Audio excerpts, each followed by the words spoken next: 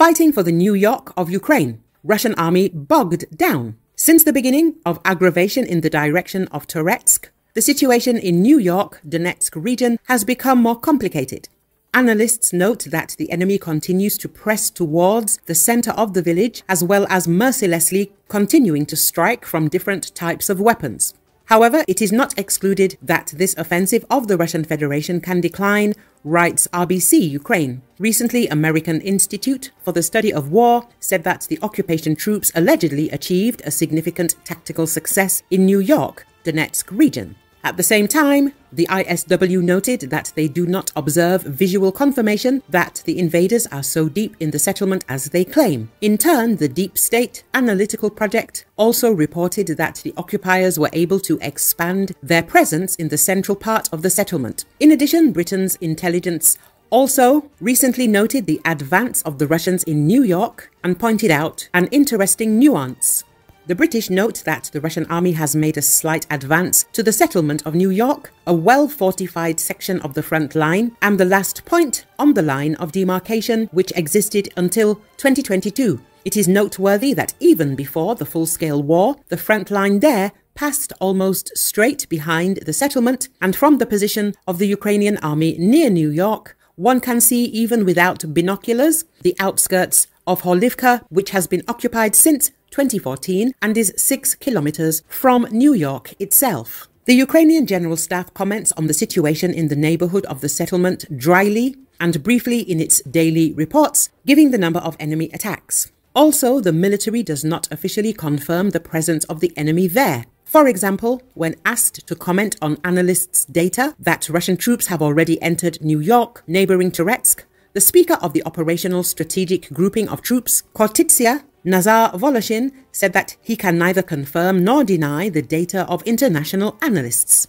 I will only say that the defense forces are fighting for this settlement as the enemy does not stop assaults and shelling from different types of weapons and using aviation, Voloshin said. The head of the Center for Military and Legal Studies, Alexander Musienko, said in a commentary to RBC Ukraine that the Russians' goal is to seize the bridgehead. That is, they want to seize New York and Toretsk and thus ensure their further advancement. In fact, we are talking about advancing towards Konstantinivka. According to him, fighting may show how everything will happen in reality. Now, the aggressor is trying to actually destroy New York, sometimes using the advantage in firepower.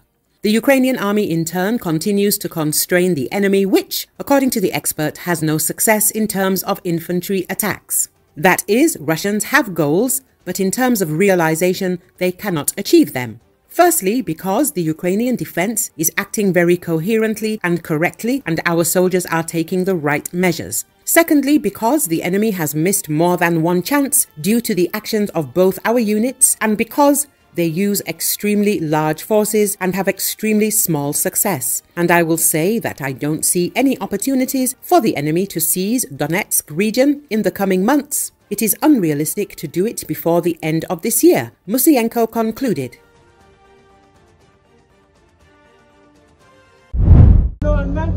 Yemen's Houthi militant group has attacked a container ship with Ukrainians on board near the Yemeni port city of Mocha in the Red Sea. The attack occurred on July 20, while the video footage from the incident circulated on Telegram app on July 23.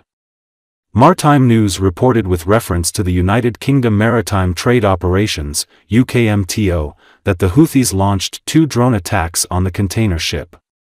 The first attack was launched with the use of an unmanned aerial vehicle that exploded in the immediate vicinity of the ship, causing minor damage.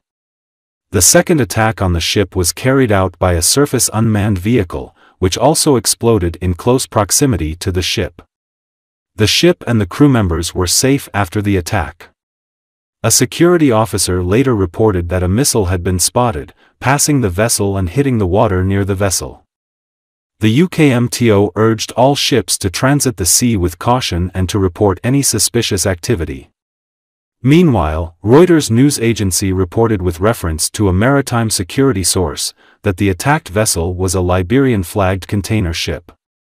Following the attack, it continued to maneuver at a maximum speed in order to escape.